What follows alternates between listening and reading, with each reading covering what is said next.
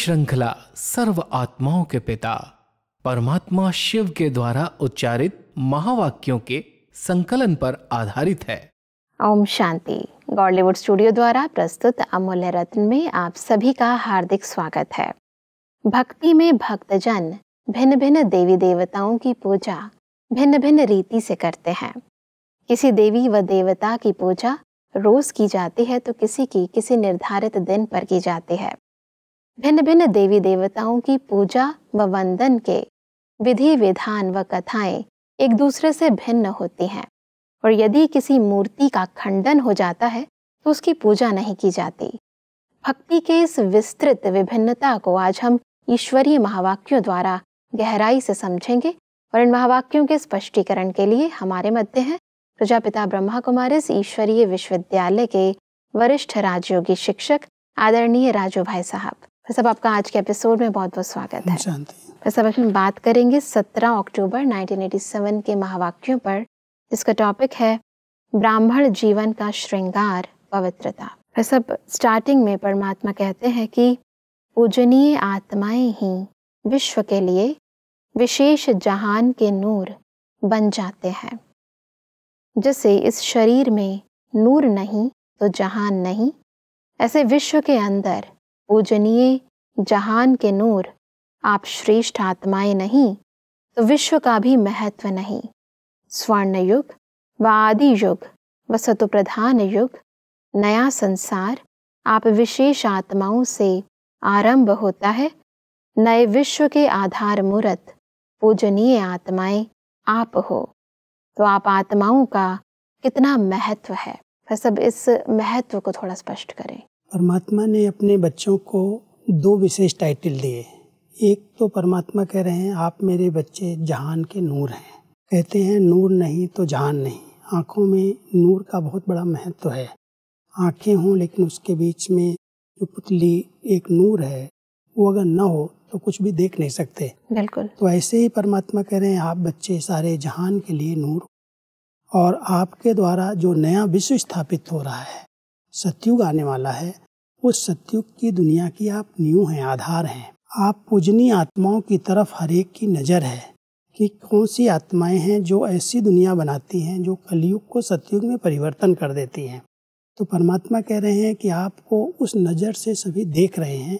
परमात्मा के कार्य में आप सहयोगी बने हो। नई दुनिया की जो स्थापना का कार्य परमात्मा कर रहे हैं, उस कार्य में आप सब बच्चे पूजनीय बनकर के अपने पूज्य स्वरूप में स्थित होकर के इस दुनिया को ही ऐसा श्रेष्ठ सतयुग बना देते हो। जी, परमात्मा कहते हैं कि आप पूज्य आत्माएँ संसार के लिए नई रोशनी हो। आपकी चढ़ती कला विश्व को श्रेष्ठ कला में लाने के निमित्त बनती है। आप गिरती कला में आते हो तो संसार की भी गिरती कला होती है। आप परिवर्तन होते हो तो विश्व भी परिवर्तन होता है। इतने महान और महत्व वाली आत्माएँ हो। क्योंकि आदि से लेकर के जो पार्ट बजाने वाली इस नाटक के अंदर हीरो पार्टधारी आत्माएँ हैं, जिन्होंने संगम युग पर परमात्मा के साथ पार्ट बजाया है। परमात्मा कह रहे हैं, आप बच्चों के आधार से ही पूरे विश्व की चढ़ती कला होती है। कलयुग के अंत में परमात्मा अपने बच्चों को जब इतना योग्य बनाते हैं, पूज्य बनाते हैं तो ये पूज्य आत्माओं के आधार से सारी सृष्टि की गति और सदगति हो जाती है। लेकिन जब वही आत्माएँ नीचे फिर से गिरने लगती हैं पुनर्जन्म लेने लगती हैं तो उनके पीछे सारी सृष्टि का भी पतन होता है। जी। तो संगम युग पर परमात्मा के साथ हम मददगार बने हैं साथी बने हैं और अपने जीवन को इतना श्रेष्ठ महान बनाया है। इसके आधार से जब हम बन जाते हैं तो हमारे पीछे सारे विश्व को सदगति प्राप्त हो जाती है। गति सदगति मिल जाती है। तो परमात्मा कहते हैं आप बच्चों के आधार पर ही सारी दुनिया का उत्थान और पतन निर्धारित होता है। इस समय आपकी जो ऊँची स्थिति बन रही है आपके पीछे सारे विश्व की आत्माएँ आपको फॉलो करते ऊंचाई तक पहुंचेंगी। और फिर जब आप फिर पुनर्जन्म में आएँगे तो आपके पीछे वो सब आत्माएँ भी नीचे आएँगी। बिल्कुल भाई साहब सदा ये स्मृति रहे कि हम आधार मूर्त हैं उद्धार मूर्त हैं तो अपने आप ही हमारी ये जो स्मृति है आंतरिक स्थिति को बहुत ज़्यादा प्रबलता प्रदान कर देती है। परमात्मा कहते हैं कि ब्राह्मण बनना अर्थात पूज्य बनना। क्योंकि ब्राह्मण सो देवता बनते हैं और देवताएँ अर्थात पूजनीय सभी देवताएँ पूजनीय तो हैं, फिर भी नंबरवार ज़रूर हैं। किन देवताओं की पूजा विधि पूर्वक और नियमित रूप से होती है और किन्हीं की पूजा विधि पूर्वक नियमित रूप से नहीं होती? किन्हों के हर कर्म की पूजा होती है और किन्हों के हर कर्म की पूजा नहीं होती है। तो सब वैसे भी भक्ति मार्ग में गायन है कि ब्राह्मण सो देवता। तो सब इस गायन के यथार्थ अर्थ को थोड़ा स्पष्ट करें। संगम युग पर जब हम सच्चे पक्के ब्राह्मण बनते हैं, माना अपने जीवन को हम पवित्र और योगी बनाते हैं तो भविष्य आधा कल्प तो हमें वो देव पद इसकी प्रारब्ध के रूप में प्राप्त होता है। लेकिन जब भक्ति काल शुरू होता है, द्वापर युग तो वहाँ पर हमारे जो जड़ यादगार मंदिर बनते हैं, वहाँ पर हर देवता की नंबरवार अपनी अपनी विधि से पूजा होती है जिस आत्मा ने संगम पर इतनी ऊंचाइयों को प्राप्त किया है पवित्रता की धारणा संपूर्ण रीति से जिसने की है उसकी पूजा भी उसी विधि पूर्वक द्वापर युग से प्रारंभ होती है। जी। कोई की तो हर कर्म की पूजा होती है हर समय पूजा होती है और कोई की कभी कभी होती है कोई कोई कर्म की होती है लेकिन उसका आधार है संगम युग पर ब्राह्मण जीवन।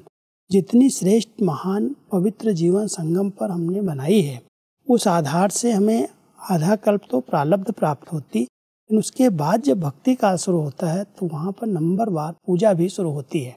जी। और हमारे जड़ मंदिरों से कई आत्माओं की मनोकामनाएँ पूर्ण होती हैं। बिल्कुल। परमात्मा के कहते हैं कि कोई का विधि पूर्वक हर रोज श्रृंगार होता है और कोई का श्रृंगार रोज नहीं होता है। ऊपर ऊपर से थोड़ा बहुत सजा लेते हैं, लेकिन विधि पूर्वक नहीं। कोई के आगे सारा समय कीर्तन होता और कोई के आगे कभी कभी कीर्तन होता है। इन सभी का कारण क्या है?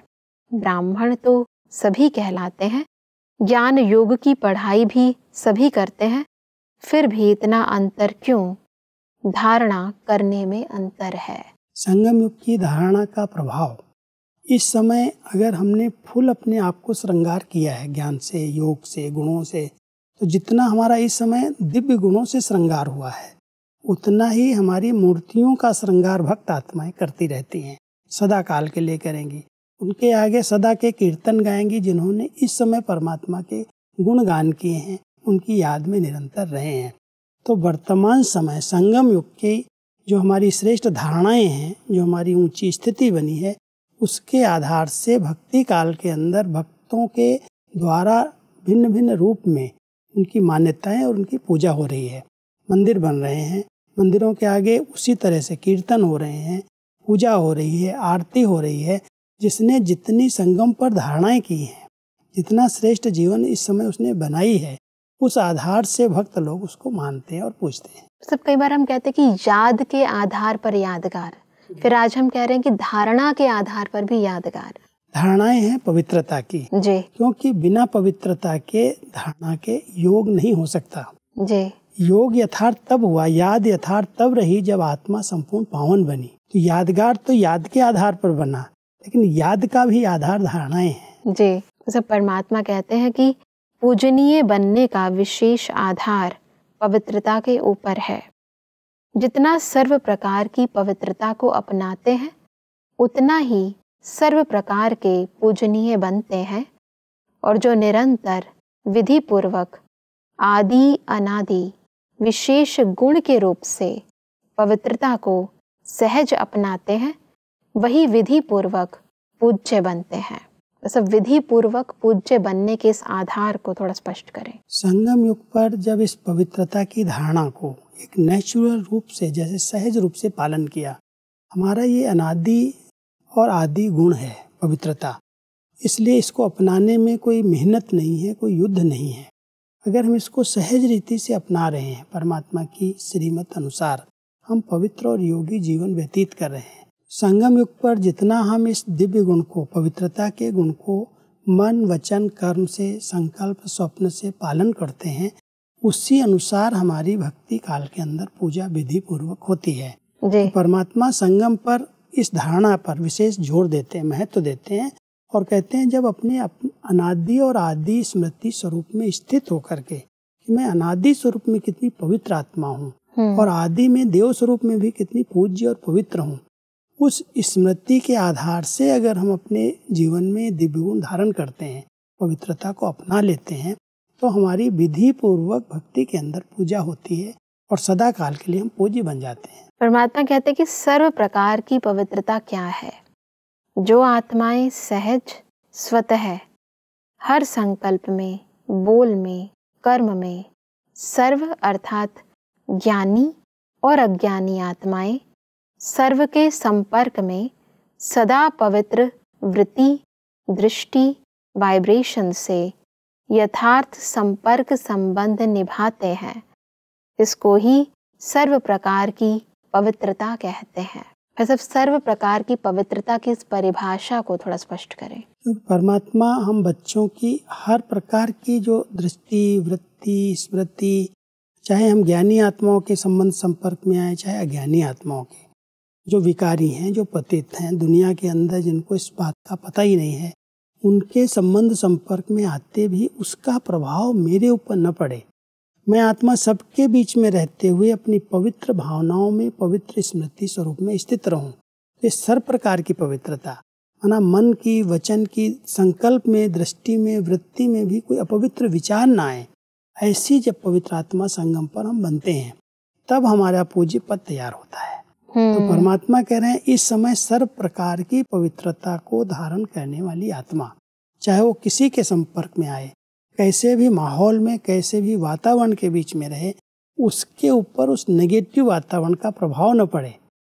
ऐसी पवित्रता को जिसने इस संगम पर अपनाया है बहुत प्योर स्वच्छ बनी है वो आत्माएँ सदा काल के लिए पूजी जाती हैं। परमात्मा के कहते हैं कि स्वप्न में भी स्वयं के प्रति या अन्य कोई आत्मा के प्रति सर्व प्रकार की पवित्रता में से कोई कमी ना हो। मानो स्वप्न में भी ब्रह्मचर्य खंडित होता है, वह किसी आत्मा के प्रति किसी भी प्रकार की ईर्ष्या, आवेशता के वश कर्म होता या बोल निकलता है। क्रोध के अंश रूप में भी व्यवहार होता है तो इसको भी पवित्रता का खंडन माना जाएगा। बहुत बड़ी बात है क्योंकि संगम युग पर परमात्मा अपने बच्चों को केवल एक काम विकार पर भी विजय प्राप्त करने का ज्ञान नहीं देते। पवित्रता में पाँचों विकार आते हैं। संपूर्ण पवित्र आत्मा वो है जिसने इन पाँचों पर काम, क्रोध, लोभ, मोह, अहंकार, ये जो मूल पाँच विकार हैं, इन पर जिसने संपूर्ण विजय प्राप्त की। तो परमात्मा कह रहे हैं, मान लो स्वप्न में भी आपका ब्रह्मचर्य खंडित हो रहा है तो भी आपकी पवित्रता खंडित हो रही है। क्रोध आ रहा है ईर्ष्या के बस आप किसी से लड़ रहे हैं झगड़ रहे हैं बात नहीं कर रहे हैं अंदर अंदर आवेश है आवेग है तो परमात्मा कहते हैं ये आपकी संपूर्ण पवित्रता में बाधा है ये रुकावट है। इसको आप अगर संपूर्ण जीत लेंगे इन विकारों पर संपूर्ण विजय हो जाएगी तब कहेंगे संपूर्ण पावन आत्माएँ। और वो संपूर्ण पावन आत्माएँ संपूर्ण पूज्य रूप में निरंतर पूजी जाएँगी उनके यादगार मंदिर बनेंगे। हम्म, परमात्मा आगे कहते हैं कि सोचो। जब स्वप्न का भी प्रभाव पड़ता है तो साकार में किए हुए कर्म का कितना प्रभाव पड़ता होगा। इसलिए खंडित मूर्ति कभी पूजनीय नहीं होती। खंडित मूर्तियाँ मंदिरों में नहीं रहती। आजकल के म्यूज़ियम में रहती हैं। वहाँ भक्त नहीं आते। सिर्फ़ यही गायन होता है कि बहुत पुरानी मूर्तियाँ हैं, बस। परमात्मा तो अपने बच्चों को संपूर्ण मूर्ति बनाना चाहते हैं। खंडित मूर्ति नहीं। क्योंकि खंडित मूर्ति तो वैसे भी मंदिर में रखी नहीं जाती। कोई भी अगर कोई अंग टूट जाएगा, बनाते समय कोई उंगली भी टूट जाएगी तो उसको म्यूज़ियम में स्थापित करेंगे, मंदिर में नहीं। तो परमात्मा कहते हैं, अगर मंदिर लायक बनना है, पूज्य बनना है तो आपको संपूर्ण पवित्रता को इस संगम पर धारण करना है। जी तो इसका मतलब यदि अब तक ब्राह्मण जीवन में किसी का पवित्रता खंडित हुई है, कभी क्रोध में आए हैं या आवेश में आए हैं तो क्या उनका पूजन जो है भक्ति मार्ग के अंदर खंडित रूप में होगा? या फिर अब पुरुषार्थ से वो अपनी खंडित जो स्थिति है उसको फिर से बना सकते हैं? बना सकते हैं क्योंकि ये पुरुषार्थी जीवन में संपूर्ण पवित्रता हमारी अंतिम स्टेज गई हुई है। जी। सर्वगुण संपन्न सोलह कला संपूर्ण संपूर्ण निर्विकारी ये हमारी पढ़ाई का लक्ष्य है। लक्ष्य को प्राप्त करके ही हम पूजी बन सकेंगे।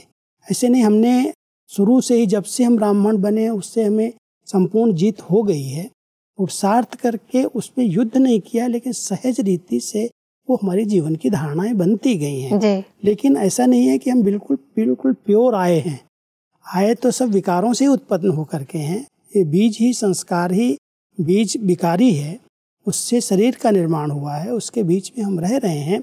लेकिन पुरुषार्थ करते करते आत्मा जब संपूर्ण स्टेज को प्राप्त कर लेती है तब उस स्टेज के द्वारा वो ट्रांसफ़र होकर के पूजी बनती है। जी, और इसीलिए परमात्मा कहते हैं कि उन्होंने स्थूल अंगों के खंडित को खंडित कह दिया है, लेकिन वास्तव में किसी भी प्रकार की पवित्रता में खंडन होता है तो वह पूज्य पद से खंडित हो जाते हैं।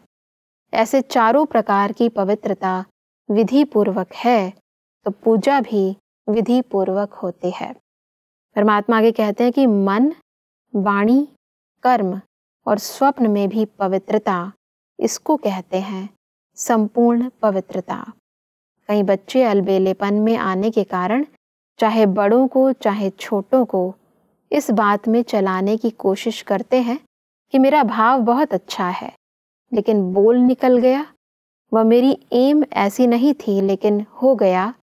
या कहते हैं कि हँसी मज़ाक में कह दिया अथवा कर लिया। यह भी चलाना है। इसलिए पूजा भी चलाने जैसी होती है। यह अलबेलापन संपूर्ण पूज्य स्थिति को नंबर वार में ले आता है। इसलिए बहुत ध्यान देने की आवश्यकता है चारों प्रकार की पवित्रता, मन, वचन, कर्म, स्वप्न। ये जो चार प्रकार हैं, परमात्मा कहता है, इसमें हम चला न दें कि हाँ ये तो सब चलता है। मन से या स्वप्न से कोई भी प्रकार के हमारे विचार गलत होते हैं। तो हम कई बार चला देते हैं इस बात को। नहीं, ठीक है। तो परमात्मा कह रहे हैं, अगर इस समय चलाने वाले बन गए, बातों को बड़ों के आगे चला दिया तो आपकी पूजा भी चलाने योग्य मना कभी कभी करेंगे लोग। लेकिन सदा काल के लिए पूज्य आप बन जाएँगे, उसके लिए संगम पर आपको संपूर्ण रीति से अपने मन को संकल्पों को, अपनी वाणी को, अपने कर्म को, अपने स्वप्नों को स्वच्छ बनाना है, पवित्र बनाना है परमात्मा की याद से। परमात्मा कहते हैं कि पूज्य पवित्र आत्माओं की निशानी यही है। उन्हों की चारों प्रकार की पवित्रता स्वाभाविक, सहज और सदा होगी।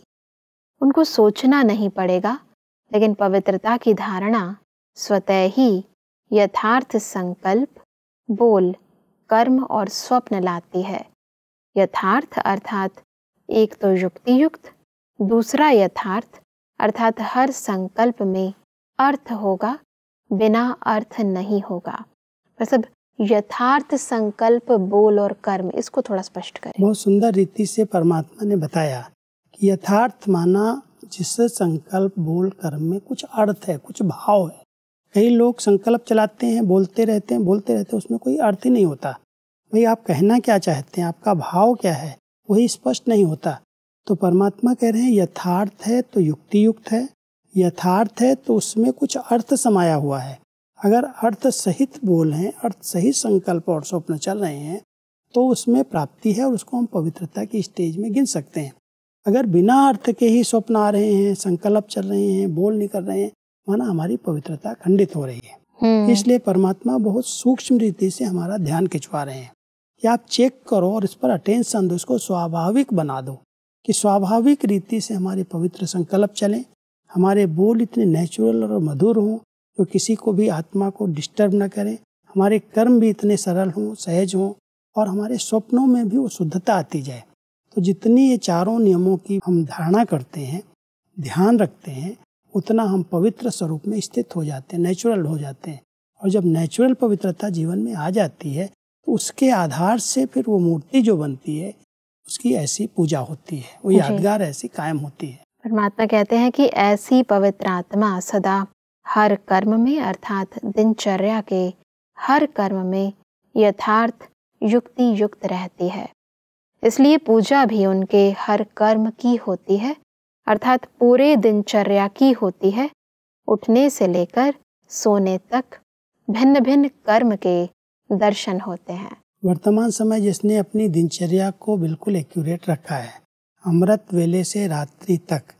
परमात्मा की श्रीमत अनुसार उसके हर बोल, हर कर्म युक्ति युक्त और यथार्थ हो रहे हैं। संगम पर इसने इतना ध्यान रखा है। दिनचर्या में डिस्टर्ब न हुआ है, न दूसरों को डिस्टर्ब किया है। तब परमात्मा कह रहे हैं, इस संगम के इस पुरुषार्थ से, पूरे ही कल्प में, आधा कल्प तो पूज्य बनी है और आधा कल्प जो उसकी पूजा हो रही है, वो विधि पूर्वक और यथार्थ रूप में होगी। अगर संगम पर उसने अपनी दिनचर्या को ऐसा एक्यूरेट श्रीमत अनुसार चलाया है तो। परमात्मा कहते हैं कि अगर ब्राह्मण जीवन की बनी हुई दिनचर्या प्रमाण कोई भी कर्म यथार्थ व निरंतर नहीं करते तो उसके अंतर के कारण पूजा में भी अंतर पड़ेगा।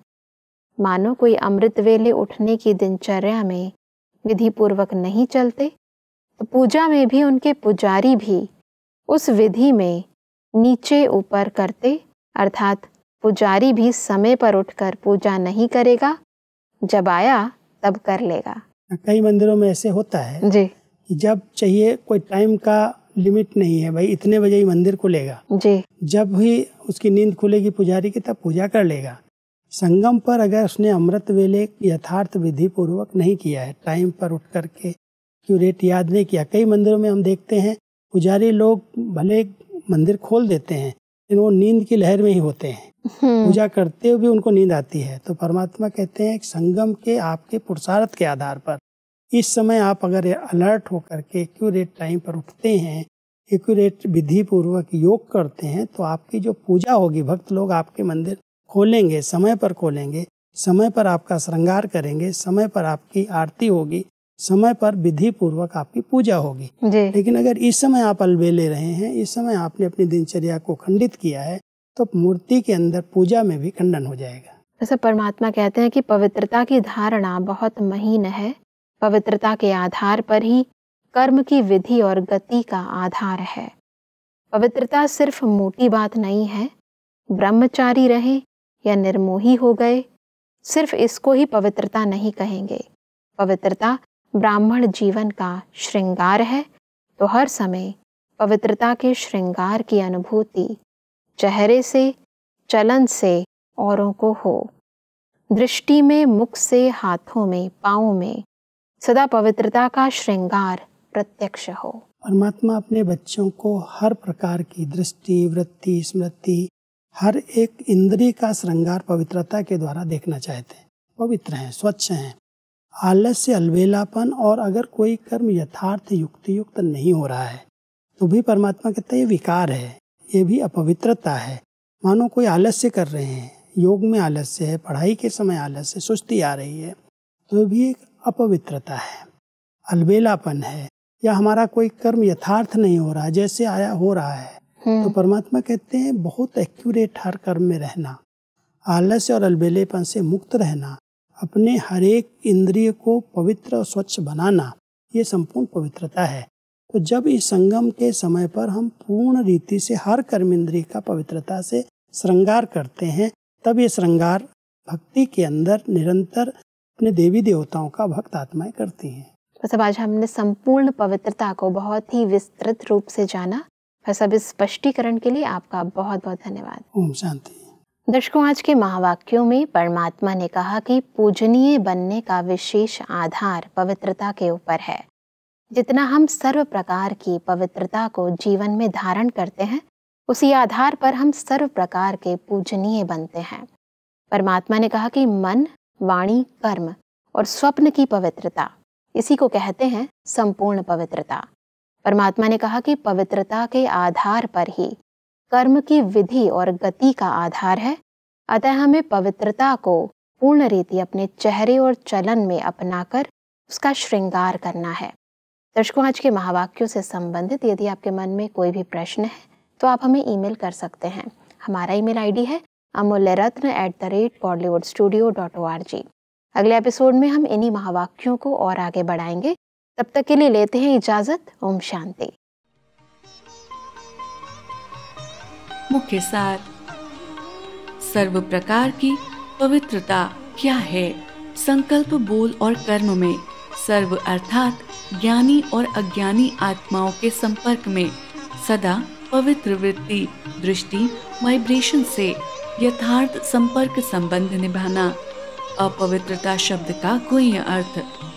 किसी के प्रति किसी भी प्रकार की ईर्ष्या, क्रोध के अंश रूप में भी व्यवहार होना भी पवित्रता का खंडन है। आलस्य और अलबेलापन भी विकार है। जो यथार्थ कर्म नहीं है, वह विकार है। दिनचर्या में ऊपर नीचे होना विधि पूर्वक न चलना भी अपवित्रता का अंश है। पवित्रता के आधार पर ही कर्म की विधि और गति का आधार है। अधिक जानकारी के लिए संपर्क करें। Amulya Ratan, Godlywood studio, Manmohini Van. Shanti Van post, Abu Road तीन शून्य सात पाँच एक शून्य district Sirohi, Rajasthan. Email ID है Amulya Ratna at Godlywood studio dot O R G इस श्रृंखला को प्रजापिता ब्रह्मा कुमारीज ईश्वरीय विश्वविद्यालय के सेवा केंद्रों पर क्लास में नियमित रूप से चलाने के लिए गॉडलीवुड स्टूडियो से संपर्क करें।